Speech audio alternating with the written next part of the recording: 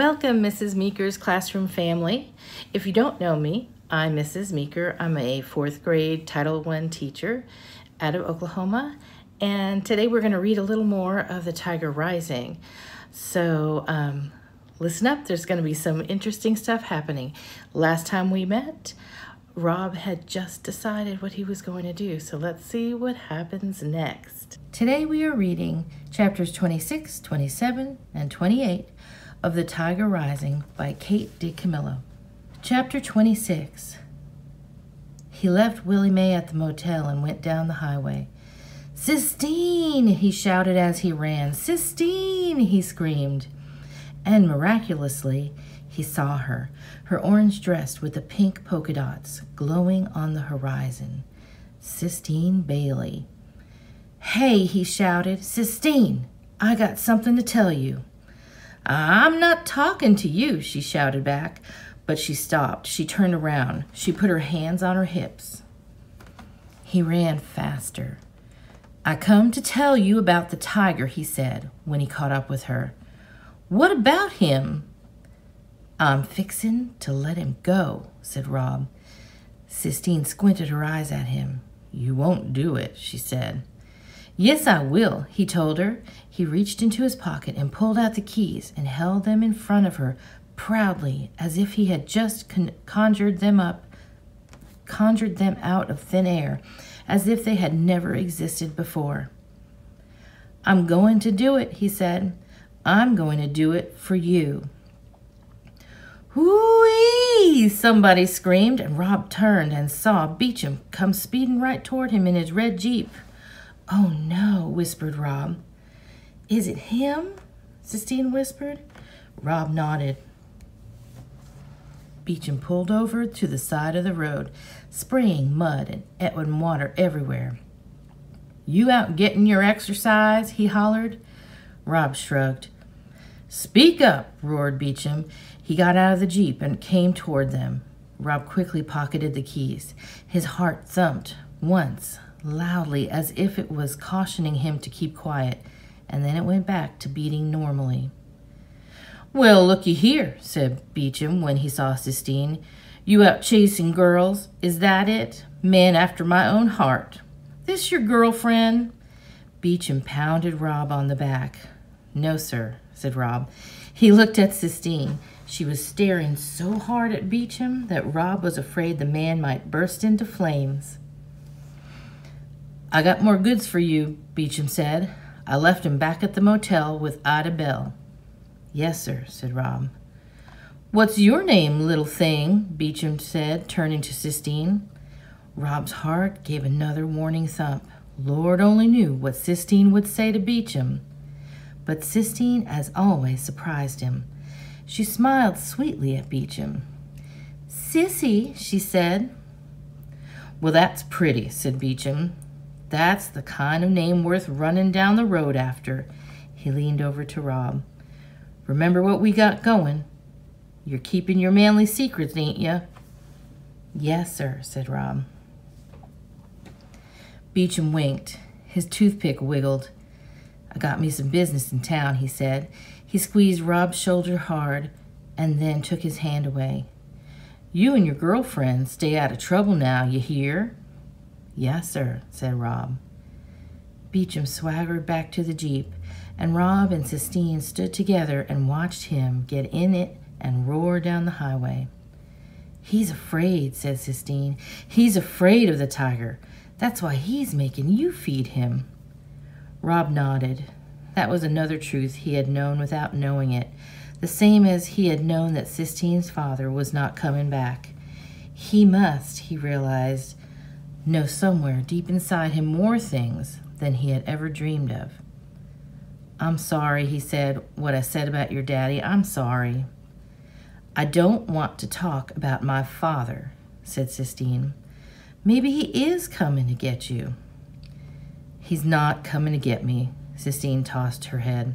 And I don't care. It doesn't matter. What matters is the tiger. Let's go. Let's go set him free. Chapter 27 The first key slid into the first lock so smoothly that it made Rob dizzy with amazement. It was going to be so easy to let the tiger go. Hurry, Sistine said to him. Hurry up, get the other locks. He opened the second lock and the third, and then he took them off one by one and handed them to Sistine, who laid them on the ground. Now open the door, she said. Rob's heart pounded and fluttered in his chest. What if it eats us? he asked. He won't, said Sistine. He'll leave us alone out of gratitude. We're his emancipators. Rob flung the door wide. Get out of the way, he shouted, and they both jumped back from the door and waited. But the tiger ignored them. He continued to pace back and forth in the cage, oblivious to the open door. Go on, Rob said to him. You're free, Sistine whispered. But the tiger did not even look in the direction of the door. Sistine crept forward and grabbed hold of the cage. She shook it. Get out! she screamed. Come on, she said, turning to Rob. Help me, help me get him out. Rob grabbed hold of the fence and shook it. Get, he said. The tiger stopped pacing and turned to stare at them, both clinging like monkeys to the cage. Go on, Rob shouted, suddenly furious. He shook the cage harder. He yelled. He put his head back and howled, and he saw that the sky above them was thick with clouds. And that made him even angrier. He yelled louder. He shouted at the dark sky. He shook the cage as hard as he could. Sistine put a hand on his arm. Shh, she said. He's leaving. Watch. As they stared, the tiger stepped with grace and delicacy out of the cage. He put his nose up and sniffed. He took one tiny step and then another then he stopped and stood still. Sistine clapped her hands, and the tiger turned and looked back at them both, his eyes blazing. And then he started to run. He ran so fast it took it looked to Rob like he was flying. His muscles moved like a river. It was hard to believe that a cage had ever contained him. It didn't seem possible. The tiger went leaping through the grass, moving farther and farther away from Rob and Sistine. He looked like the sun rising and setting again and again, and watching him go, Rob felt his own heart rising and falling, beating in time. Chapter 28 Oh, said Sistine in that voice that Rob loved. See, she said, that was the right thing to do. That was the right thing to do. Rob nodded, but in his mind he saw a flash of green. He remembered what happened to Cricket. What? said Christine, turning to him. What are you thinking about? Rob shook his head. Nothing, he told her. Robert! The sound of his name came floating to them from the direction of the motel. That's my dad, he said, confused. That's my dad calling me. And then they heard Willie May. Do Jesus, she screamed, her voice high and wild. And then there was the crack of a gun. They both stood still, stunned and silent. And when Mil- Willie May came running out from under the pine trees and saw them, she stopped. Thank you, Jesus, she said, looking up at the sky. Two whole children, thank you. Come here, she said. She opened her arms. Come to me. Rob started walking toward her. He wanted to tell her that she was wrong. He wanted to tell her that he did not feel whole. But he did not have the energy or the heart to say anything. All he could manage was putting one foot in front of the other. All he could do was all he could do was keep walking toward Willie May. Willie May led them back. And when Rob saw the tiger on the ground and his father standing over it, holding the rifle, he felt something rise up in him, an anger as big and powerful as the tiger, bigger. You killed him, he said to his father. I had to, his father said. That was my tiger, Rob screamed. You killed him. You killed my tiger. He ran at his father and attacked him. He beat him with his fists. He kicked him, but his father stood like a wall. He held the gun up over his head and kept his eyes open and took each hit took each hit without blinking. And Rob saw that hitting was, wasn't going to be enough, so he did something he thought he would never do. He opened his suitcase, and the words sprang out of it, coiled and explosive. I wish it had been you, he screamed. I wish it had been you that died. I hate you. You ain't the one I need. I need her. I need her. The world and everything in it seemed to stop moving. He stared at his father. His father stared at him. Say her name, Rob screamed into the silence. You say it. Caroline, his father whispered, with the gun still over his head, with his eyes still open. And with that word, the small sound of his mother's name, the world lurched back into motion like an old merry-go-round. It started to spin again. His father put the gun down and pulled Robert Rob to him. Caroline, his father whispered. Caroline, Caroline, Caroline. Rob buried his face in his father's shirt.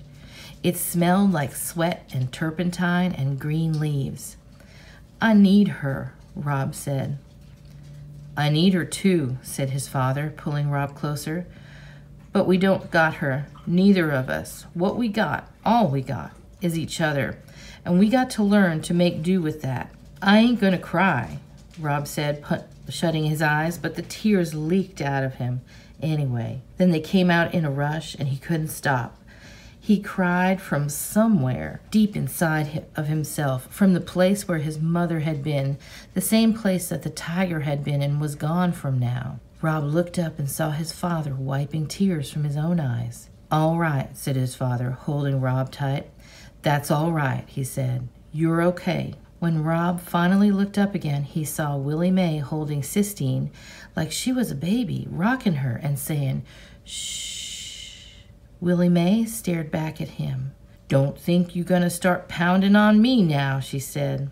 No, ma'am, said Rob. He wiped the back of his arm, crossed his nose, and slid out of his father's arms. I went and got your daddy, Willie May told Rob as she swayed back and forth, rockin' Sistine.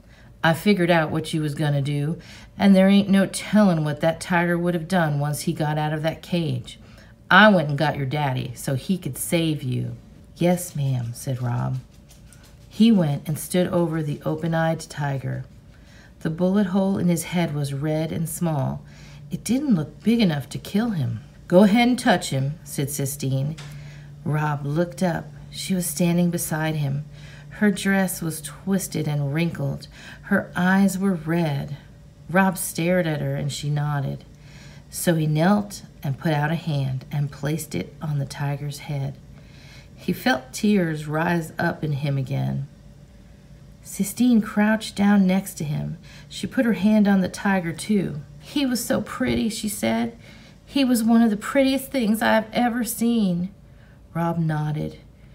We have to have a funeral for him, Sistine said. He's a fallen warrior. We have to bury him right. Rob sat down next to the tiger and ran his hand over the rough fur again and again while the tears traveled down his cheeks and dropped onto the ground. Hi, classroom family. At the end of this passage, the tiger rose on up, Rob's feelings rose on up, and his suitcase of non thoughts came open. Do you think that Rob's feelings would never have risen out of his suitcase if he had not fed the tiger and to let it rise out of the cage? What do you think? Leave a comment down below. I want to hear what you think about that. And uh, like and subscribe, and I will see you next time for the conclusion of this story. Bye. Ciao.